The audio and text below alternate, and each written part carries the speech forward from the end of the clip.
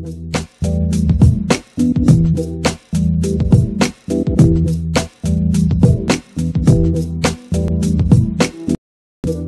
a Raquel, 49 anos. Nós estamos aqui na Glória, em Estremoz, na zona de Estremoz. Estamos aqui no Monte dos Abibes e eh, portanto, dedico-me ao, ao cultivo de plantas aromáticas e medicinais em modo biológico e igualmente de óleos essenciais e hidrolatos.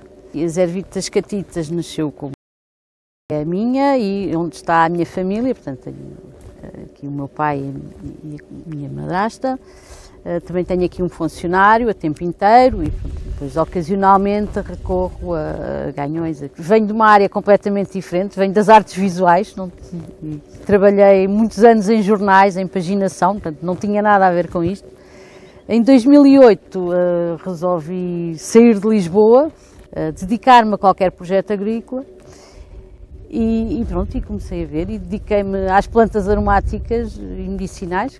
Entre o idealizar e começar o projeto e, e entregar eh, um, uma candidatura, porque eu candidatei-me aos apoios Jovem Agricultor e, portanto, isto foi tudo muito rápido, porque 15 dias depois o meu filho nasceu, portanto, foram nove meses, isto foi tudo, foram dois partos assim muito rápidos. Quando eu comecei, aliás, as plantas aromáticas era uma coisa que não existia em Portugal, existiam pequenas coisas, havia dois produtores, e, e, em 2008 houve assim vários que começámos todos ao mesmo tempo. Uh, e entretanto eu comecei portanto a vender a granel e rapidamente se percebeu que só isso não era sustentável e comecei a desenvolver uma marca própria nessa altura para chegar portanto ao consumidor final e também rapidamente começámos a pensar na destilação e a fazer os óleos essenciais para crescer um pouco mais. Desde o início que tornei agricultora a tempo inteiro. Portanto, a maior parte da produção, essencialmente o tomilho limão, eh, erva príncipe, é para, portanto, é para vender em planta seca,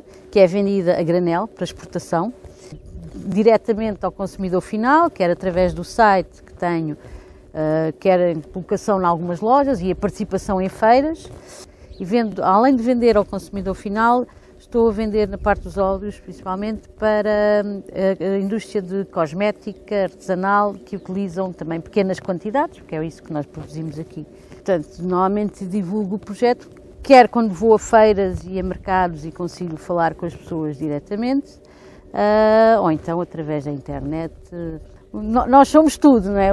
Este agricultor dos tempos modernos, nós somos a secretária, o contabilista, o responsável de marketing, o embalador. É? As maiores dificuldades são de facto chegar eh, a um consumidor final e de início também foi uh, afirmar Portugal como um produtor de aromáticas e um produtor de qualidade e não meramente como um país de mão de obra barata. Uh, fiz alguns workshops e alguns cursos e fui vendo muito pela net, não? É? na internet para isso serve para tudo, o Dr. Google é fundamental e basicamente fui experimentando.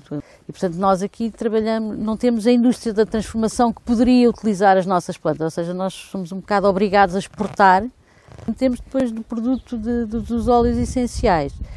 É uma coisa nova, é uma novidade. Portanto, ainda há pouco consumo, as pessoas ainda não sabem muito bem o que é, não estão habituadas a utilizar, é algo que está a recomeçar. Eh, nós fomos tentando várias espécies de plantas, foi principalmente ao nível das espécies, porque nunca se sabe muito bem o que é que o que é que é pedido no mercado. Talvez a parte do reconhecimento do, do, produto. Continuaram a achar que Portugal é o país da mão de obra barata e que nós não temos custos de produção e então não nos querem pagar um valor justo pelas coisas. O principal problema é não ter pensado no produto final logo desde o início e não chegar ao consumidor final. Uh, quanto às plantas, isso temos que estar sempre a inovar, nunca sabemos, é algo que está sempre em transformação.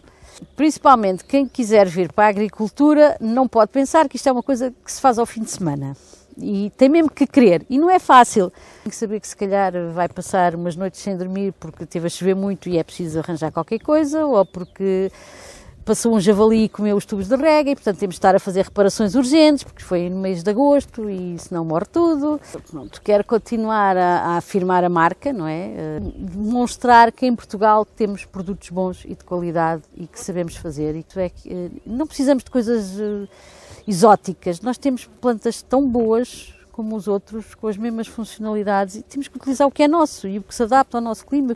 A rede Newbie é bom para saber eh, o que de novo se faz, não é? Porque de facto nós temos de estar sempre constantemente em inovação e saber os exemplos dos outros e como fazem e como que, que soluções arranjaram para os problemas eh, dá-me ideias para as soluções que eu tenho que arranjar para os meus problemas. E no fundo é isso, é esta troca de, de experiências e de inovação que vai permitir a todos nós crescermos um bocadinho mais, não volta atrás de maneira nenhuma pronto, aprendo com os erros e vou corrigindo as coisas, mas eh, não, isso quero continuar, é o que eu gosto de fazer.